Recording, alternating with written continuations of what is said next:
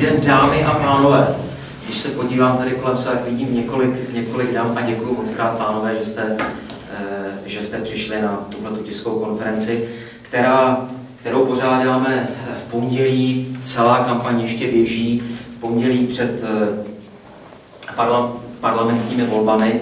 Nicméně považujeme za eh, povinnost se pokusit zhrnout kampaň do poslanecké sněmovny na Vysočině eh, s tím, že tak, jak jsme na té minulé tiskové konferenci přivedli první pětku, tak přivádíme první pětku ještě jednou znovu a eh, myslím, že jejich vystoupení budou zajímavá. Navíc přivádíme také eh, bývalého hejtmana, pana doktora Vystrčela, který je předsedou krajských zastupitelů a chceme zdůraznit, že sice jedna kampaň končí, ale druhá kampaň začíná, neboť pan doktor Vystrčil je kandidátem ODS ve v senátním volebním okresku Jihlava, tudíž už patří zcela logicky do téhle kampaně, na které se podílel.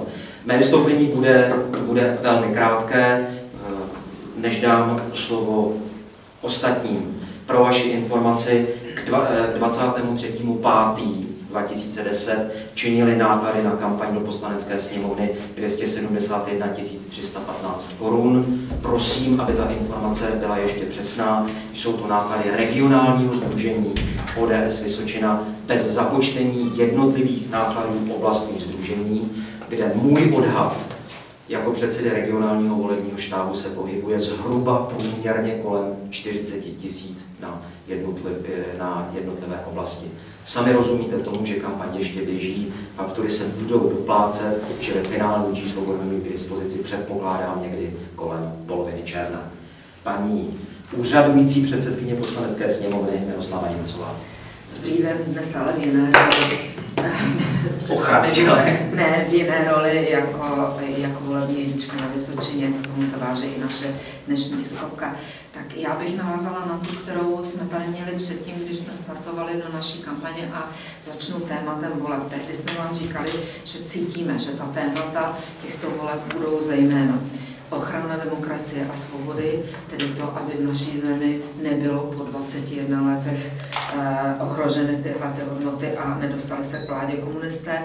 Za druhé ekonomická situace, pomlčka hrozba bankrotu. Za třetí podpora živnostníků a tvorba pracovních míst. Ukázalo se v té volební kampani, že přesně toto jsou témata, kterými rezonuje Eh, rezonujeme my v souladu s, eh, s veřejností nejenom tady na Vysočině, ale v celé České republice. Řekla bych, že tam je ještě jedno téma, a to má personální charakter. Je to Jiří Paroubek a to, jak působí negativně na veřejnost a nevyhnuli jsme se tomuto jevu na žádném ze svých mítinků. Pokud je o a organizaci naší kampaně, zvolili jsme převážně pozitivní vedení kampaně, a to jak na celostátní, tak na zejména tady naší regionální úrovni. Pozitivní zejména v té první části jistě jste zaznamenali to, že jsme zvolili to naše ústřední heslo, které říkalo řešení, řešení problémů, které jsou před námi. Ty, ta témata jsem tady zdůraznila, která to byla.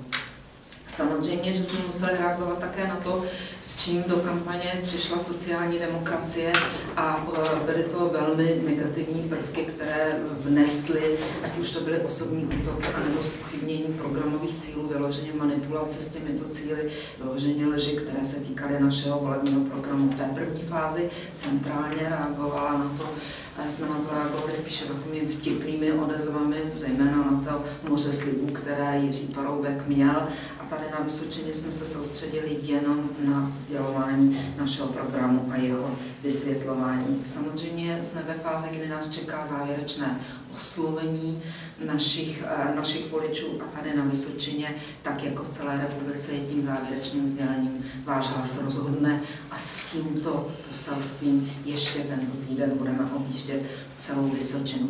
Pokud je o zatím průběh té kampaně na na Vysočině. Chtěla bych říct si první poznámku, váže se na to, co řekl předseda regionálního združení doktor Stryček, že naše kampaň byla určitě střídmá a určitě jsme neplýtvali penězi.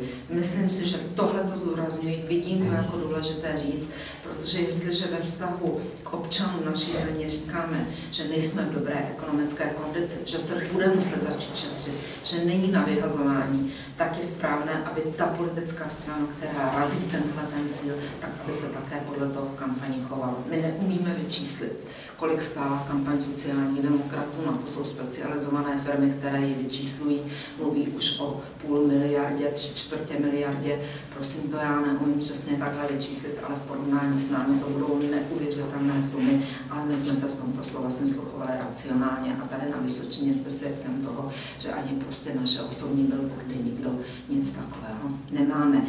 Rozdělili jsme naše akce na místní, to znamená, že těch se zúčastňovali ti kandidáti, kteří byli z daného místa, kteří obcházeli své spoluobčany, vysvětlovali jim náš program. Měli jsme samozřejmě také kontaktní kampaň, které se na různých místech zúčastňovaly různé skupiny lidí podle toho, jak jsme si své výjezdy naplánovali, protože fakticky jezdili tři, dalo by se říci, profesionální týmy s profesionálním vybavením, s dodávkou, ozvučením a podobně.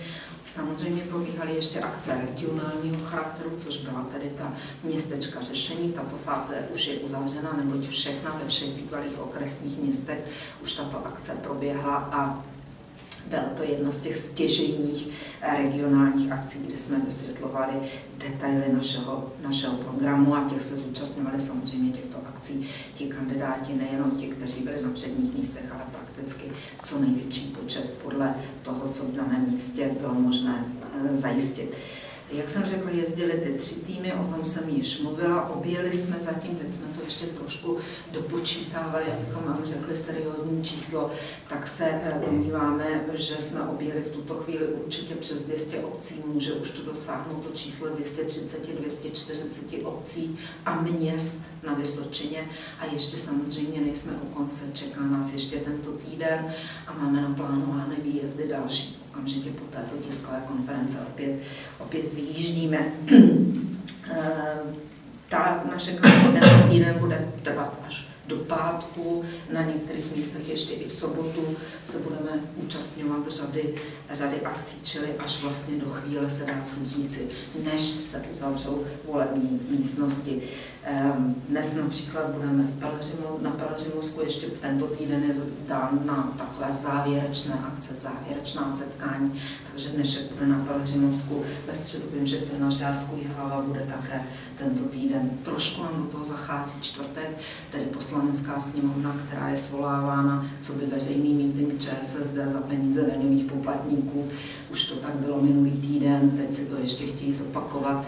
Je to opravdu Naštěstí bych řekla, že to veřejnost odmítla a pochopila, jaká hra se s ní hraje, protože všechny návrhy, které tam socialisté na ten program protlačili, tak o nich předem věděli, že ten legislativní proces dokončen nebude a že to je spíše tedy taková manipulace veřejností, že oni jim prosazují něco, co by jim mohlo dobře sloužit a vědí dobře, že to spadne pod stůl.